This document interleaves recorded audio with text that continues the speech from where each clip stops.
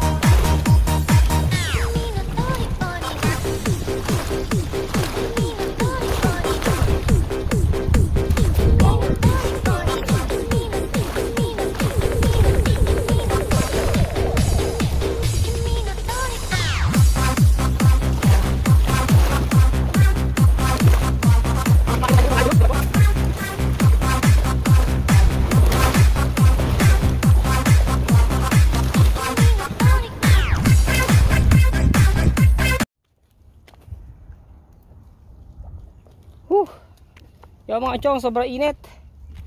Lipat kami ni Kuya Albert dun sa dito sa lugar nito. Sa kabila sa kabilang uh, area na pinunta namin uh, may nahuli kami maliit. So ginawa naming live bait. Ito na dito sa aking uh, dito yung live bait ko dito. Ito mga chong.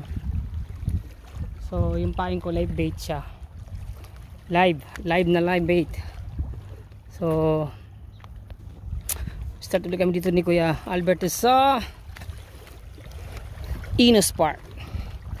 Ito kami.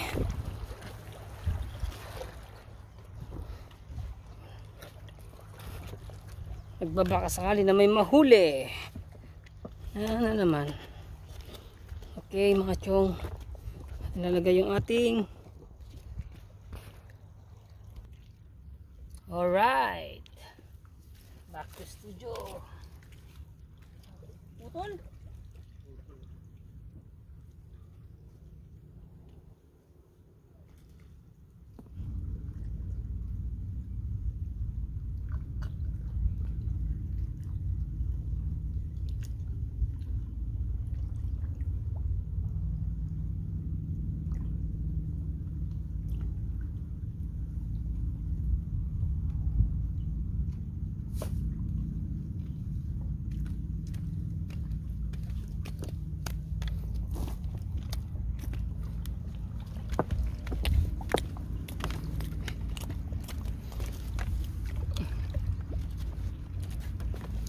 Yo Chong. So, good morning no. Mga Chong, uh, doon kami galing sa kabilang uh, side nito, itong uh, park na to. So, nag-casting ako doon and then si Kuya Albert nag nagbabad no, mga Chong, nakahuli kami ng malit na isda. So, katulad ng sinabi ko kanina mga Chong, nakahuli kami, pinain ko doon sa isa kong rod. Medyo maganda yung rod ko at saka yung reel kaya doon ko inilagay yung live bait no malit na isda mga chong. So dito ngayon kami sa, sa kabilang side naman. Si Kuya Albert nando sa area na yon nagbababad siya para makahuli kami ng maputi no? Kasi hanggang alas 11 lang kami dahil si Kuya Albert may pasok ng 12 so nag start kami ng 6.30 so hanggang ano lang kami mga chong 11 para may kalating oras siya mag, mag drive kalating oras magpahinga. So para makapasok siya So, ang pain namin mga chong para makahuli kami ng uh, mga maputi itong wheat bread. Then, meron kaming paong coffee dahil maaga kami nag uh, fishing. Then, meron kaming pandesal, donut. At ito yung aming mga lalagyan ng cooler. Yung aming mga pang ano no, pang mga gamit sa mga fishing. So, ayan mga chong, ang high tide ngayon start ng high tide is 6.30 am hanggang alauna to hanggang ala, hanggang alauna mga chompa low tide na siya. So ito yung part ng Saipan dito sa may uh, Inus part yung makita nyo mga maliit ma, maliit na island mga chong yan yung Managaha. So masarap maganda pumunta dyan mga chong pag uh, swimming swimming.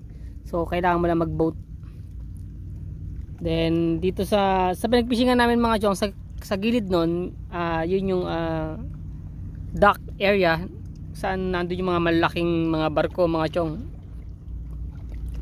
na nagbabiyahe galing sa ibang bansa sa Pilipinas. Yan yung mga ganyan mga chong.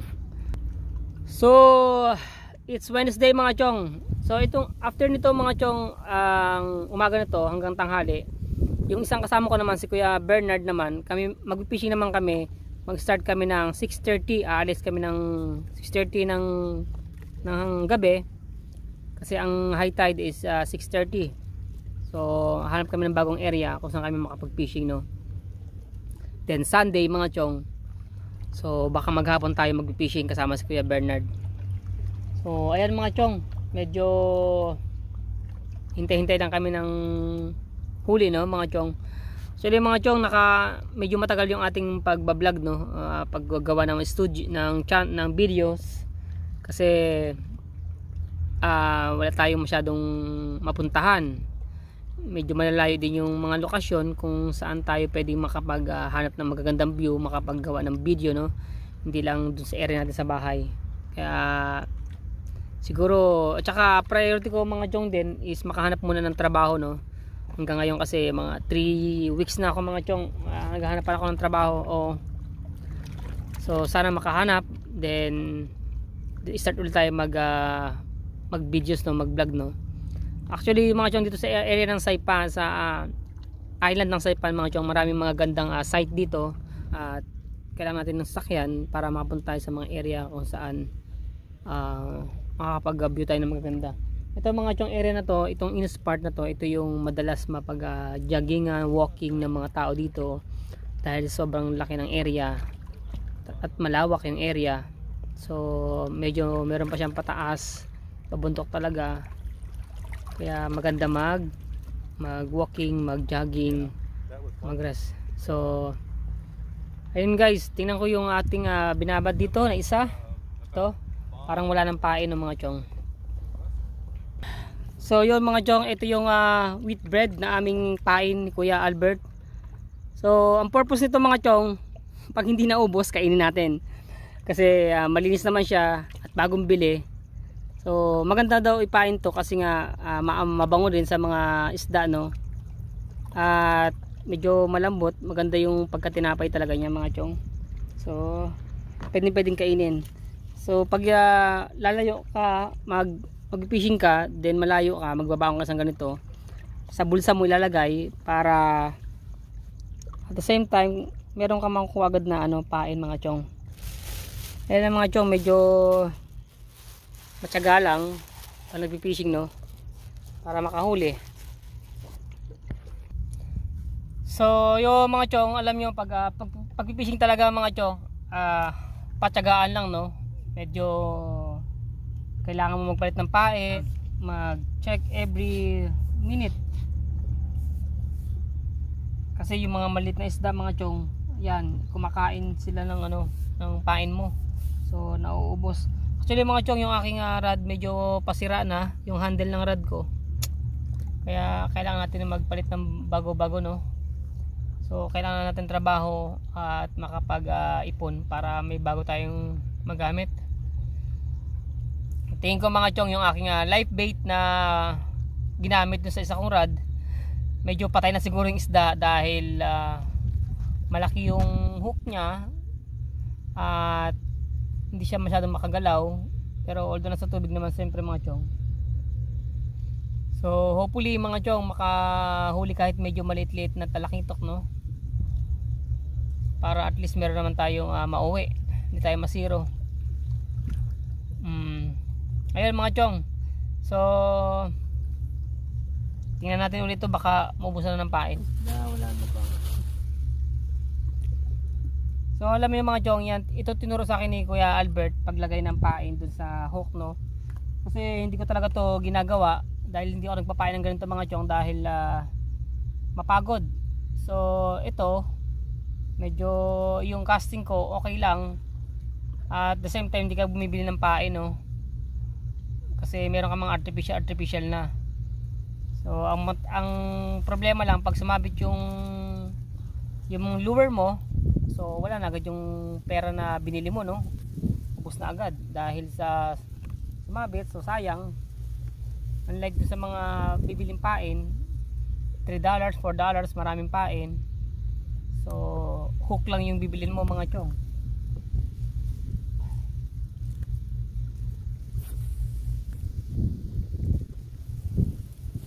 Ah. So nakakaapat na hagis na tayo na pain eh pain yung bread wheat bread. May kumakagat naman mga chong inuubos lang yung ating pain no hindi na tsatsyempuhan yung ating ating ano uh, hook doon sa tinapay.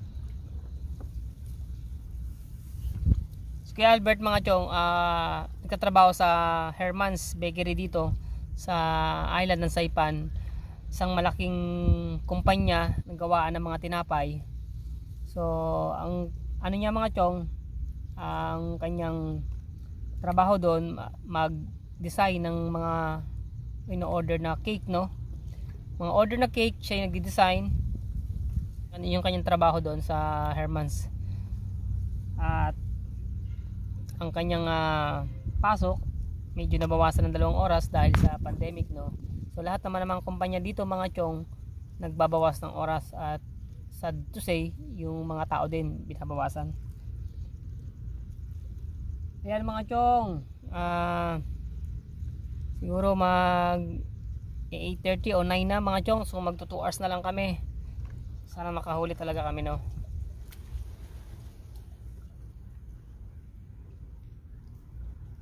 Hindi ko alam, hindi ko alam mga chong kung malas ba ako kasama ni Kuya Albert kasi si Kuya Albert pag mag-isa nakakahuli. Pag kasama ko, bira makahuli. Pero dalawang beses pa lang, dalawang beses pa lang kami nagkakasama ni Kuya Albert, no. Ah, yung si Kuya Bernard naman, yung kasama ko naman sa Paupaw, nakahuli naman ako, malaking ah, maputi. So, mamaya nga mag pupunta kami sa ibang area para makahuli kami ng ah, iba't ibang klaseng isda, mga chong. Ang baka lang abutin kami ng gabi, no, dahil ang high tide is 6:30 or 7. Kaya medyo maghintay muna kami ng tamang alas 5 then pa high tide. So ayun. Sobrang sobra talaga na tsaga sa pag-fishing. Ang maganda lang, meron kang ah, kanlungan o naka nando ka sa ilalim ng mga puno katulad nito. Hindi masyadong mainit mga chong. At masarap mag-relax. Makaiwas pag-iisip sa mga problema mga chong. Pero talaga ang problema mga chong, ah, kailangan mo talagang harapin, no?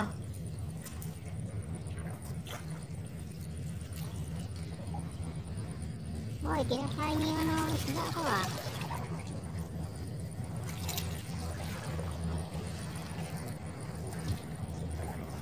Kaya mga chong, bali nilagyan ko ng tinapay, no? Yung itong harapan ko. So, makita niyo yung mga isda mga chong. Yan. Nagkakainan sila ng tinapay. Yan. Nakain nila ang kanilang mga tinapay-tinapay pain. O, ayan mga chong. O, dami isda. Marami isda pero hindi naman yan kumakagat mga chong.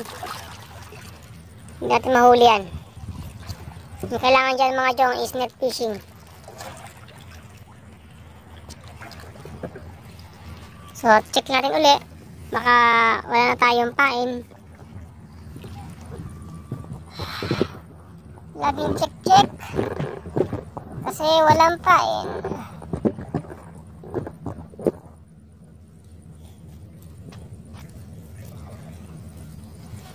Ganyan talaga ang buhay ng mga tao. Hoy, mga isda, nasa na kayo? Naubos na yung aking bread. Wala na naman akong pain. Uy! Tara dito! Uy! Ang dami nila! Mga maputi! Ay! Nandito na mga isda! Nandito na sila! Sana ay makahuli tayo dito. Grupo ng mga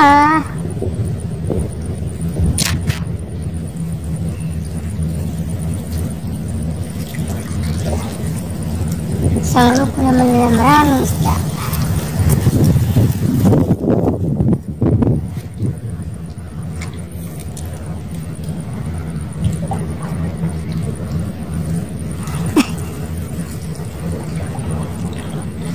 Sige, kainin yan. Bibigyan ko kainin yan. Kainin nyo yan. Pag nahuli kayo yan. Bibigay pa ko tilbud kayo.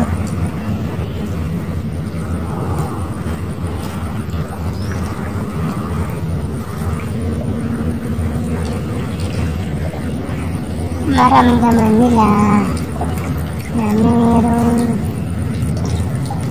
Eh, kagat. Maliit ang kanyang bibig.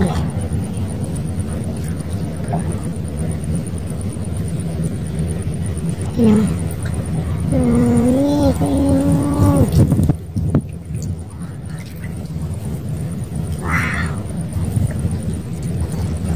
Mga chum, wala na na naman paing. Uy! Tinapay ko. Tinapay ko yung nakuha ng mga ano. Mga mandaragat.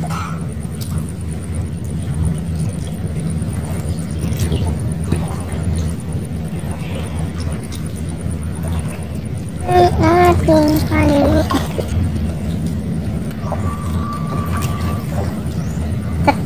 Tatawag na lamang. Bakit hindi?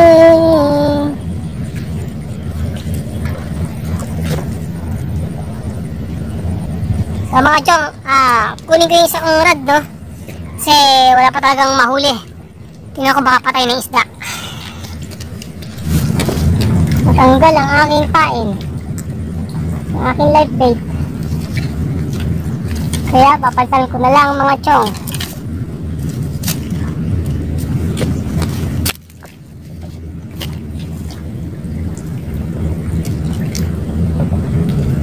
Panahon na naman ng pag-ibig.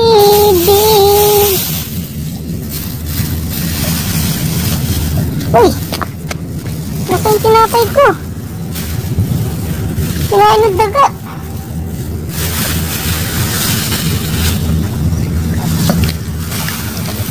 Ayun.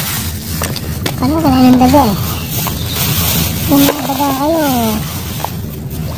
titirahin ko kayo eh.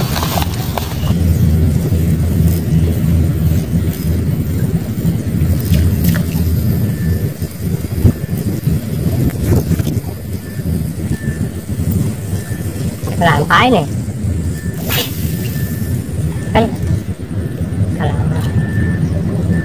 Tatlo ano yan? Sakto pa. Kain ko. Oo, oh, hindi nabulin. Ay, tubig yan. Okay, pagka tayo mga pain mga chong. Yo, mga chong, si Kuya Albert bumalik dito na ubusan ng naubusan ng pain. May kumagat sa kanya pero hindi napuruhan. Kaya, ayun mga chong, nakawala no. So, ako naman, mag... Sana makahuli ako dito mga chong. Gamit ako ng isang lure na ganito. So, gamitin ko mga chong. Lure na to. Hmm, sana kahit paano, meron tayong maiuwing malaking na isda. Actually mga chong, wala talaga mga maput, walang, walang talakitok at bluefin mga chong. Uh, wala akong napapansin na dumadaan-daan no, mga chong. Kaya posible, imposi- imposible talaga na may mahulid tayo ditong ganong kalalaking isda mga chong. So, ang target lang natin mga chong is maputi. Sana kumagat din no. Kasi mukhang parang hindi nakikipaglaro mga chong yung mga maputi sa ganitong mga lure. Kaya mahirap.